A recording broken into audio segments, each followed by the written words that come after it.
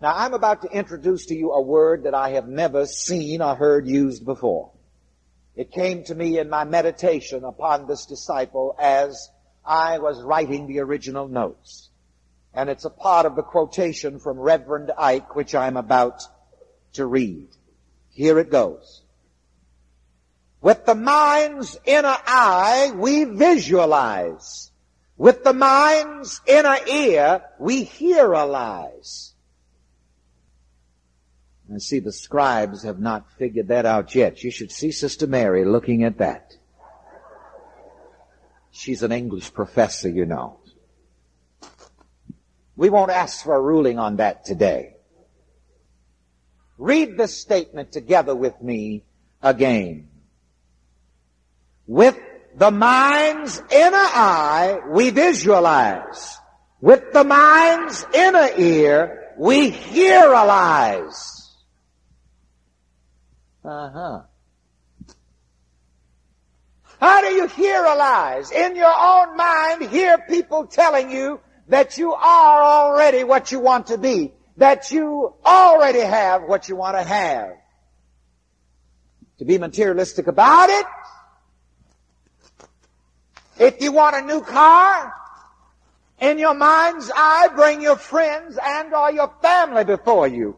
And in your mind's ear, make them tell you how happy they are to see you with the new car. You have to learn in your own mind. You see, you don't manipulate things and people outside of your mind. That's a very important distinction. How would the people who would be glad to see you with what you want react if they saw you with it?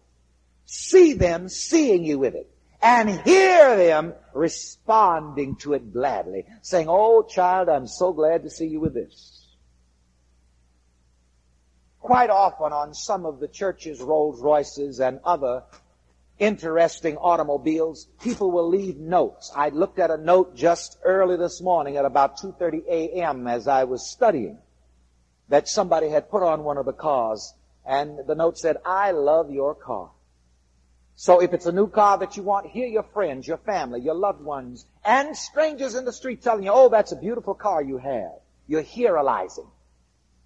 And to get off the subject, but on it at the same time for just a moment, you know, different people will respond to your having good in different ways. Some people will respond negatively. There are a lot of people that will come up to you and tell you how good you look and how glad they are to see you looking good. And how glad they are to see you with this and with that and to see you accomplishing your good. There are other people that will just say ugly things. I had a, if that doesn't bother me anymore, by the way, I've got the victory. Doesn't bother, doesn't bother me at all anymore. A classic experience, and I laugh about it. I told you once, I'll tell you again, it's good to put on this tape.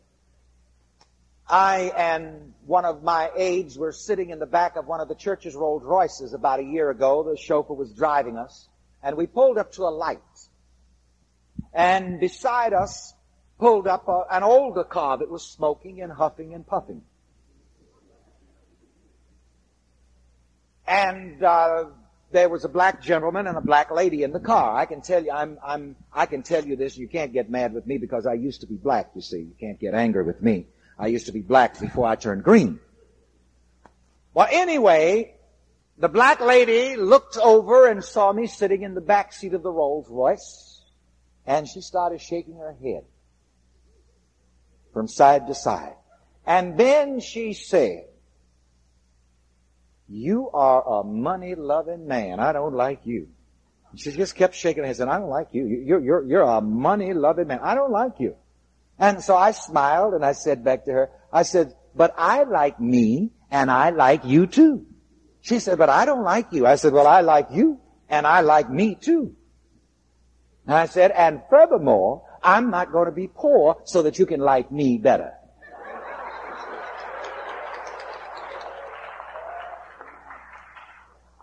Now, if I had been riding along in an, in an old broken down car,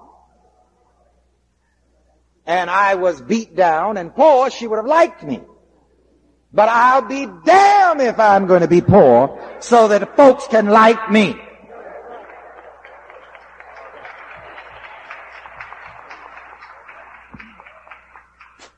Art Linkletter had a show once called People Are Funny. You know, if you be something and do something and have something, people will say, look at him. He thinks he's something. If you be nothing, do nothing, and have nothing, they'll look at you and say, look at him. He ain't nothing. So while I love people and I love everybody and I sincerely love that lady, and I still give her my good treatments, I like her. So the driver and the aide just couldn't believe they were hearing what they were hearing.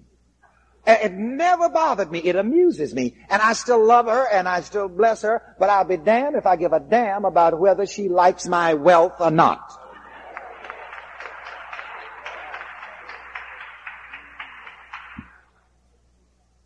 And let me tell you people something. You know, you say you want to be successful. You better be sure you can handle it. A lot of people can't handle the criticism of wealth. Uh-oh. A lot of people can't handle the criticism of being successful. My God, I can, I can, sometimes I read things in the newspaper about Reverend Ike. This is, who is this? that they're talking about. But you see, you have to know the truth of yourself. But now back to Simon the Canaanite, who is disciplined to hear good news. If there's something you want, bring your friends and your loved ones and those who would be glad for your good fortune before your mind's eye. And hear them in your mind's ear telling you how glad and how happy they are for you. Never mind the criticizers. Hear God. Hear good. Simon the Canaanite does not hear the criticizers. This makes the difference between success and failure. Who you're going to hear. What you're going to hear. Failure always criticizes success. Poverty always criticizes riches. Riches can't stand poverty, and poverty can't stand riches. For they are contrary one to another. I'm not talking about people now. I'm talking about states of consciousness with their corresponding conditions.